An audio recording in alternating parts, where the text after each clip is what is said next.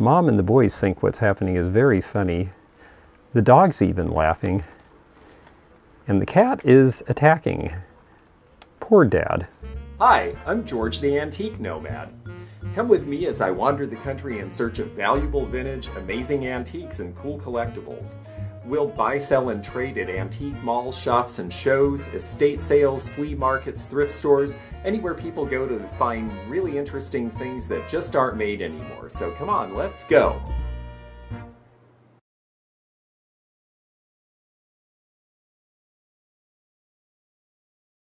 This booth is having a sale and I see some interesting items.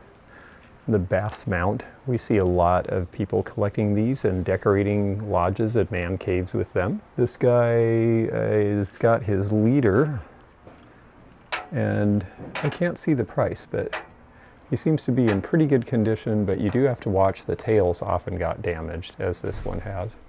Here's a neat old fresh fish and produce sign from Binghamton, New York in enamelware on Shenango Street with the E printed backwards. That seems very peculiar. Cute painting of somebody's terrier.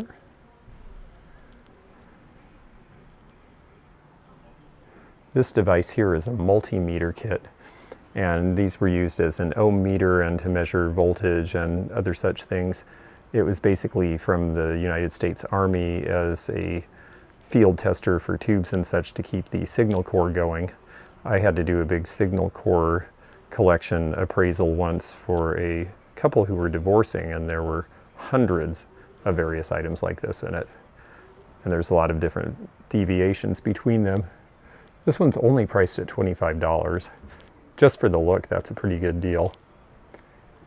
And then this deer mount with the hooves as racks is priced at 65 You have to be careful with these. In some states you have to have certificates that say where they came from in order to be able to sell them. Now pillowcase covers are pretty common, especially from the Second World War in the 1950s. They were things especially soldiers and sailors sent back to the family. And so we see quite a lot of them. But some of them are pretty interesting to people because of what they depict. This one is from Jacksonville, Florida for the Coast Guard, and it shows Army planes on it, which means it was kind of a stock footage. There probably was an Army Air Corps logo in the middle of some of these, and there was probably another one that was US Navy, I suspect. It's priced at $10 minus $2 discount. That one is common enough that I'll leave it, but this one is from Alaska. And Alaska was still a territory. There were fewer than a quarter million people there. It was not a place a lot of people went or could afford to go. And eventually, someday, I'll get back out to Washington State where I sell. And this will do well there. So for $8, I'm going to take this one. It's got some interesting things. Alaska, land of the midnight sun. They make a point of having an Eskimo baby, and I believe they don't like to be called Eskimos either. It's got the totem pole, that's real. Eskimo boys carving ivory, prospecting for gold, the steamship with the glacier in the distance, and of course salmon and the dog team. So it's got a lot of good motifs and a few that are just a little bit wrong, and that makes it even better, so I will take it. And then there's this old picture. This is worth a laugh. This guy is having a bad day. Mom and the boys think what's happening is very funny. The dog's even laughing. And the cat is attacking. Poor dad. Dads never get any respect. It doesn't matter if you were back in the 19 teens, which is when this print was from, or if you were on television five minutes ago. If you're dad, you're going to get a ration. I had to shoot this because this reminds me of my dear friend Reba Schneider from Seattle who got me interested in fiesta ware and dinnerware at the ripe young age of 16 when my mother went into her mother's mystery bookstore and I was bored. I'd hang out on her side of the shop where she sold Reba's classic ceramics. And she had lived in Hawaii and loved dressing in these 1970s Hawaiian sundresses. This one actually has the Made in Hawaii label. That's important for value. It's actually important that they not be homemade. Homemade can be fine, but they don't sell for as much. Somewhere in here, it says made in Hawaii on the tag. And this is priced at 25. That's about right for these these days. But it is a cute, vibrant, bright look. Whee! Just looks like fun.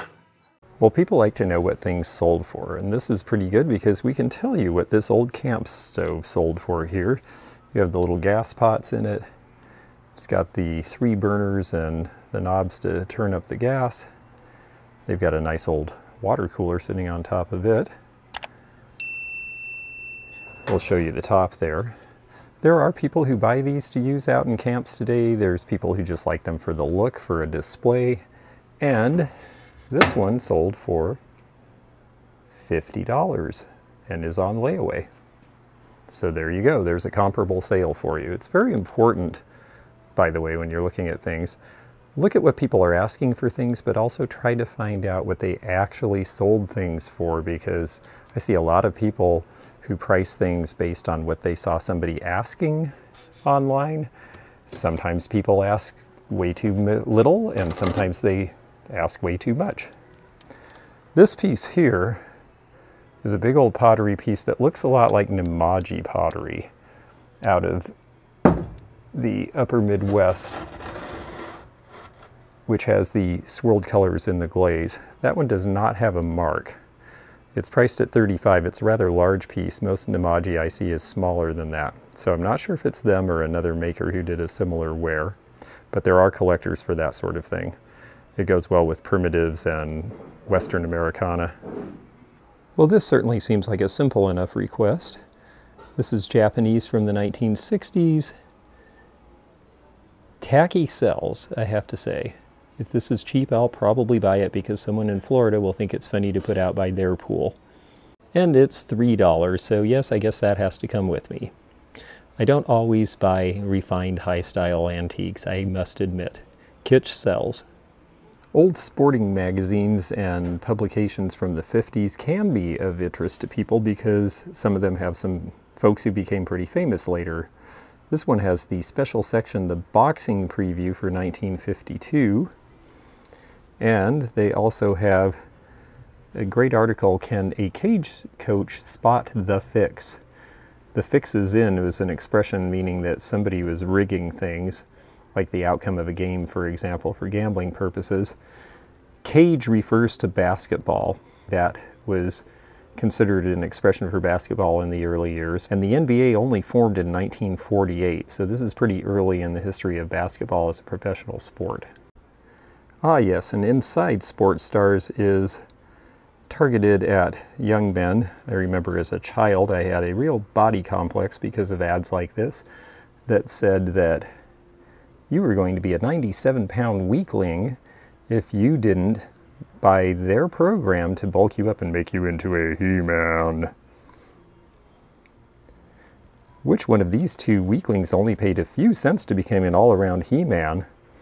I'm betting neither of them.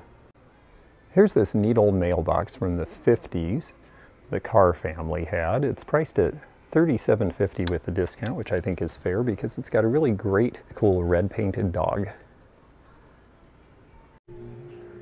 This thing is pretty cool. I see a lot of folk-made pieces in this part of the country. They refer to this as an old hillbilly wheelchair, and in fact, I think that is basically what it is. We take for granted that you just go to Social Security and they give you stuff and take care of these things nowadays, but there was a time, this would be probably 1920s or 30s, where you had to do the best you could. Somebody took an old rush seated chair, bent some steel, put some arms on it, built a platform, and there's your wheels, and you've got a wheelchair that you can roll around on. There's something really unique about this. There's not going to be another one exactly like this. It's priced at $45 minus 25% off, and I think I might take it because when are you ever going to see something like this again? Here's the 1950s era gas pumps. You see a lot of these made into salt and pepper shakers in a miniature plastic version. This was Gulf, and it's good Gulf. It's nice that this one's not restored, so you know it's original. priced at 950 Gas was 49 cents a gallon when it was removed from service. It's not in terrific shape, but this is a neat old hydroplane. Hydroplane racing is something I'm pretty familiar with because it was a big deal in Seattle. They have the Seafair every year, except this year in August, where the hydro races come. And a lot of people were stimulated to build their own hydroplanes using the old Cox engines from the remote control airplanes. This one's priced at about 150 and you're basically getting a good body for that price. Now the chairs aren't original, but this is a neat pattern Formica table. I like the way the corners are cut off and it's in these pinky colors that would have been popular in the early 60s. It's very modern pattern for the time. It does have a chip that happens to the edges on Formica. It does devalue them. It can be hard to get scratches and scrapes out, although there's a product called Gel Gloss that will do that sometimes for you. It's a neat piece. We usually see Formica tables like this going in the 125 to 195 range now with patterning. They've really gone up in value. Wicker we see in furniture. I don't see wicker lamps, hardly at all do I see a wicker lamp.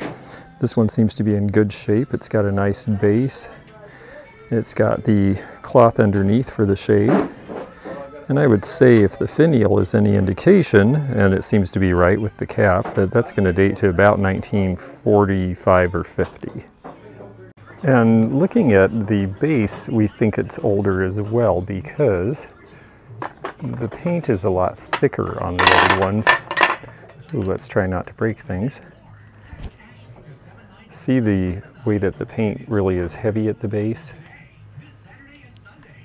And we look at the bottom and it is old as well.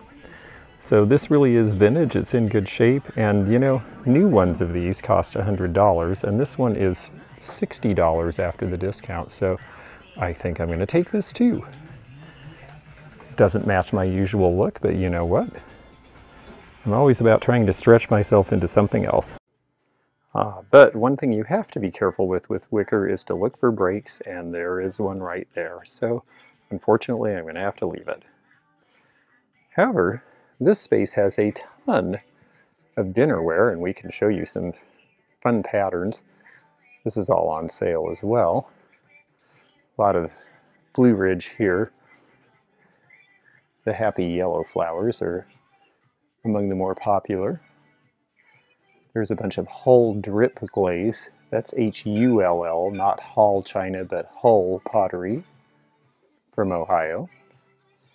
For those of you familiar with Franciscan's Desert Rose, this is Cafe Royal done in the late 70s when the beige and earth tones were really at a peak. Same pattern, but in these colors. Here's Harker's Cameo Ware from the 1940s. They did a lot of different patterns in florals, and in the 50s they did it in bamboo. They also did the white clover version of it for Russel Wright and I should show you down here. These are fun pieces. A lot of people really like these. This is Patio by Paden City, China of West Virginia, but there's also Homer Laughlin patterns called Mexicali, and a bunch of companies did this. Paden City was a place that also was known for a very good glass company that made elegant depression glass, but this was the dinnerware, the Paden City Pottery Company. This set is $120. It's a service for five plus extra pieces. And then also by Harkerware is this stone china from the late 1950s. This came out in 1958 in pink, blue, and yellow. It's really durable. It can microwave. It's oven proof. I used this for years in my house. Really liked it.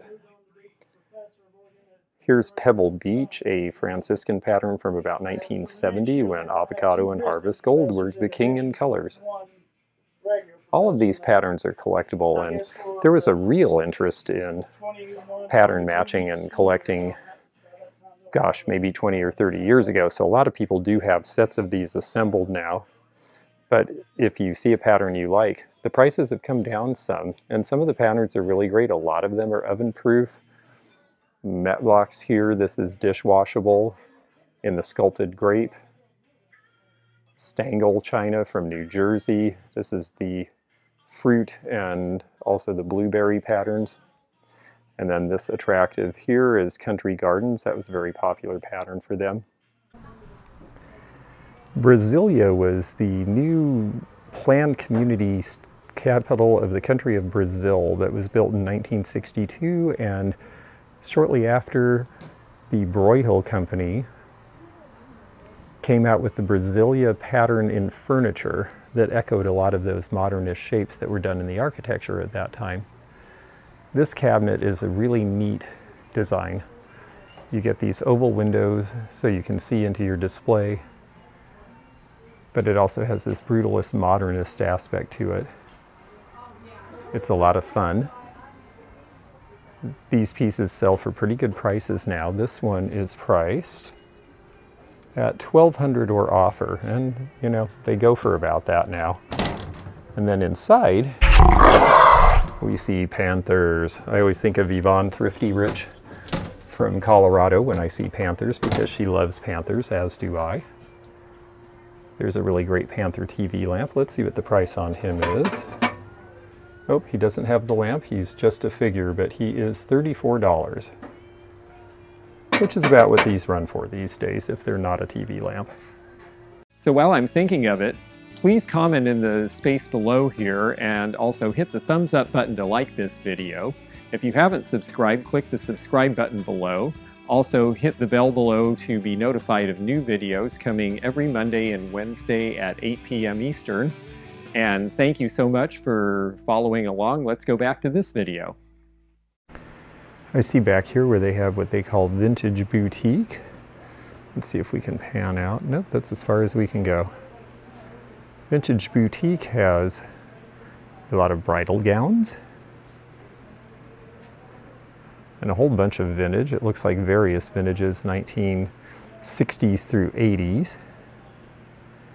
Let's take a look at this here because this looks like something from the early 80s preppy stage in history.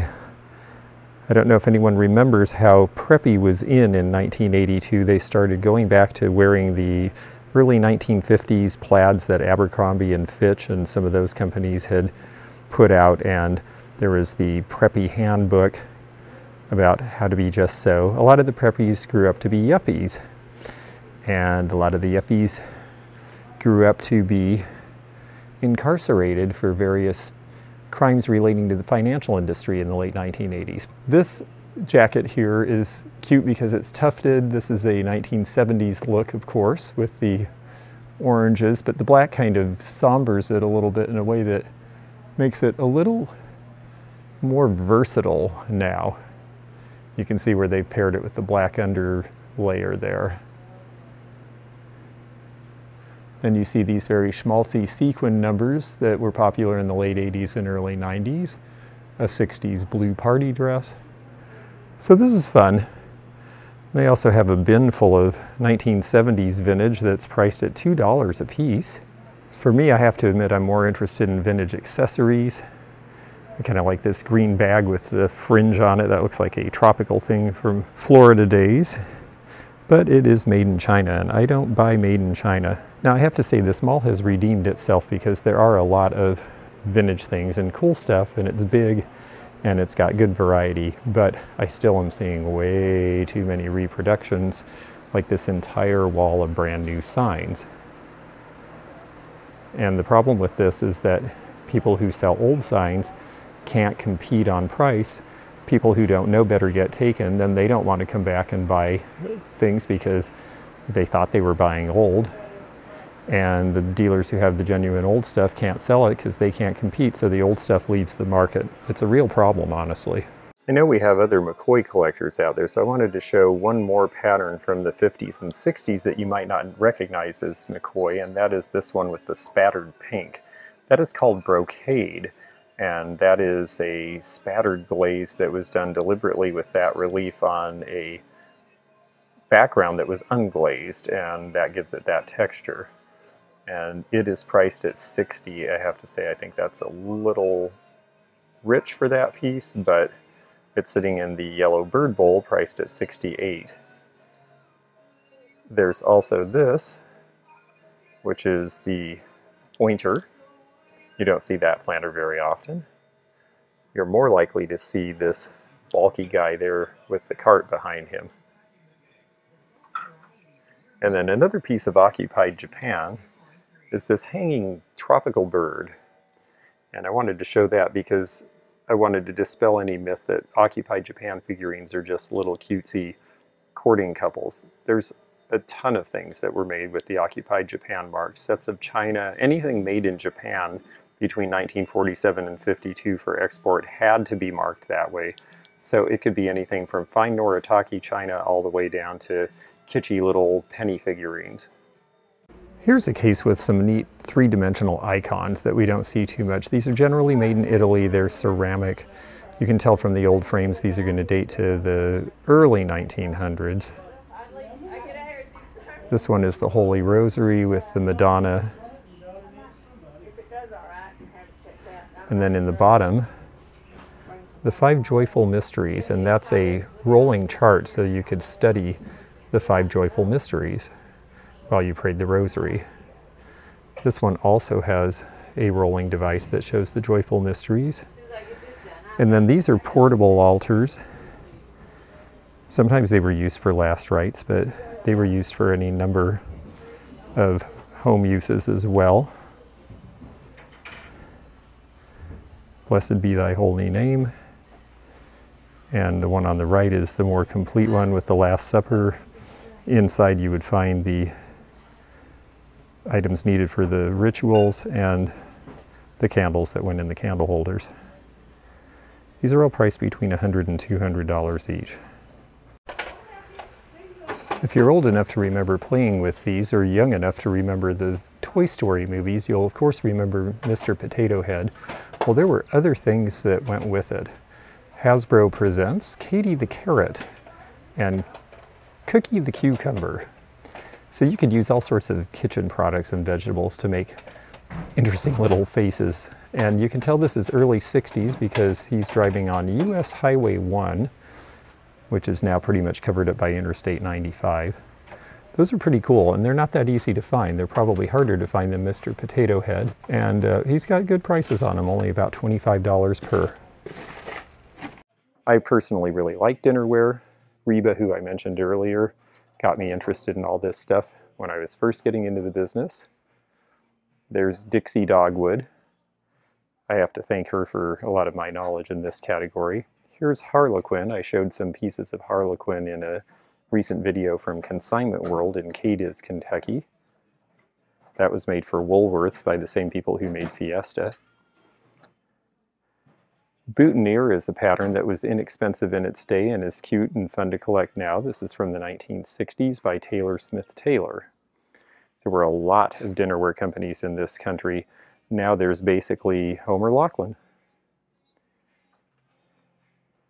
Here is another kind of fruit. This is Della Robbia, also by the Metlox Company out of California. You can see the big stylish coffee pot there.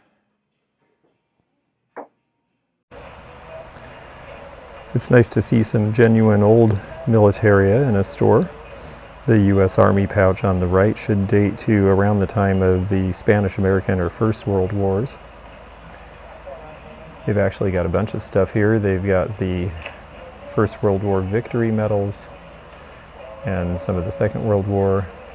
This medal on the right is Masonic, but that's quite grand and seems like a good price considering that Masonic items are pretty collectible again. There's a Civil War button in the box. We're very close to where the Battle of Chickamauga was held. So there's a lot of interest in Civil War related items here. And if we can get off the glare, we're very close to where the Battle of Chickamauga was. The button on the right is from Charleston. And then we've got a tintype in the middle. That is a genuine one probably posed about 20 years after the war. There was a real interest in posing in your old Civil War regalia about 20 years later when tintypes became popular. and easily affordable. Here's the old style German Army tanks, and that's a neat set of brass buttons, priced at 197 for the set of four. A pith helmet from the U.S. Marine Corps, Second World War. Bayonets from various places around the world. You see a lot of Czech bayonets. There were a bunch that were sent over there and reissued. The second one up here, though, is a U.S. Navy Mark II. That's one we see fairly frequently, although you don't really see a lot of them out in the wild anymore like you did even 10 or 20 years ago. And then this helmet here, Marx Toys, but this is the fighting squadron. This is if you were a kid during the Second World War and you wanted a military helmet, this is what Marx Toys put out for you. Speaking of Chickamauga, these are purported to be officer's eagle buckle and button from the Chickamauga area. These apparently were found in digs done near the battle sites.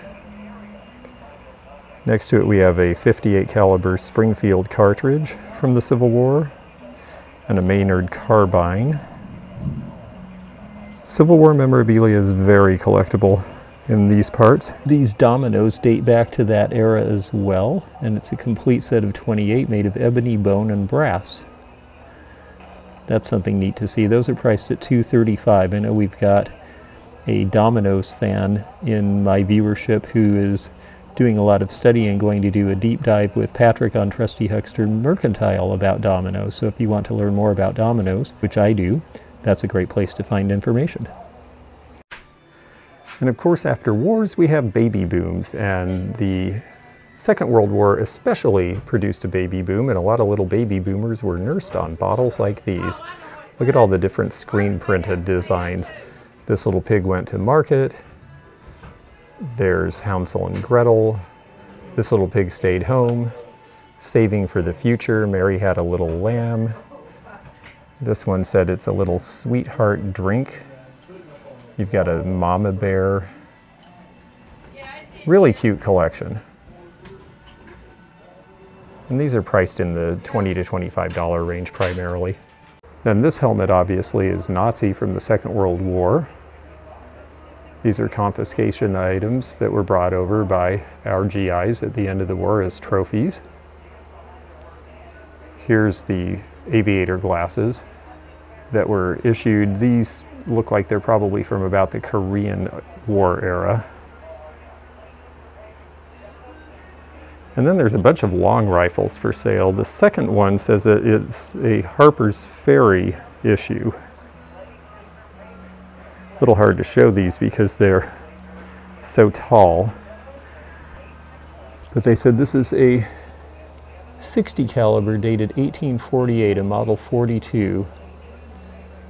Harper's Ferry, of course, was where John Brown's rebellion was.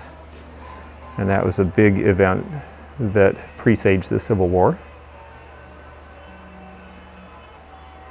Here's an 1858 canteen one of the problems with the Civil War and one of the reasons it was so bloody and lasted so long is both sides had been trained exactly the same way by exactly the same playbook. So when the war started, both sides thought they knew more than each other, but it turned out they knew exactly the same things, same tactics, and so there were no surprises except for the gigantic casualty count. Here's an early ammunition holder. Here's a neat thing that shows you a good variety of World War II collar brasses with all the information. And then we've got a neat old Spanish-American War vintage holster and just a lot of good militaria here. Metlox also made this ivy pattern about the same time that Franciscan was doing the sculpted dinnerware. Metlox was doing this where they painted the ivies on. That was a popular pattern. I have a friend in Tacoma, Washington who has a large collection of this. They did a lot of oddball pieces like vases and Dutch shoes and little giftwares as well that go along with this. I always like square dishes and I like the handle on this. This is Red Wing pottery Yes, the ones who made the crocks. They did a lot of dinnerware, including some great modernist patterns. This is the fruit pattern from about 1950. This is a great 70s pattern, Sundance by Franciscan. So for you thrifters, when you're going through the thrift stores, spend a little bit of time with dinnerware. There are some neat old American dinnerware pieces, especially serving pieces, are still saleable. This early 1960s Ford truck hauler with all the cars on it. It's in perfect shape. It's got the Montgomery Ward's Riverside mark on it, on the box. And it is one that I haven't seen before. I have to say it's in impeccable condition. It looks like it was never played with, even though the box is a little beaten. And I just wanted to show this because this is from the late 60s, early 70s, but you don't see it anymore. This is Donald Duck with Huey, Dewey, and Louie. And it is plastic, but a lot of these were thrown away as soon as the kid grew up. And so this one is priced at 200. They are actually pretty scarce, especially in the larger size. Well, I've got to say that in the end, that was a lot of fun, and I got to discover a new place. I found a few things. I got a couple of deer heads on mounts. I got a really cool mailbox with a dog on it. The Deruta jar came with me, the Alaskan pillowcase cover, and hmm, yes, the very classy pool ashtray. So I'm on the way to Florida, got the rest of the trip to go, and I'll see you from down there. Thanks for joining me. Bye for now. This is George the Antique Nomad on Periscope, Twitter, Instagram, and Facebook, and here on YouTube Mondays and Wednesdays. See you soon. Bye bye.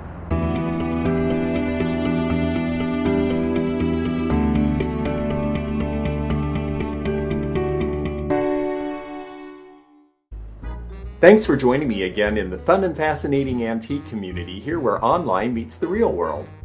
Please click the subscribe button below Click the bell to be notified when new videos upload. Leave a comment below and hit thumbs up to like this video. Links to our online social media daily posts and our items for sale are in the description. This is George at The Antique Nomad. Bye for now.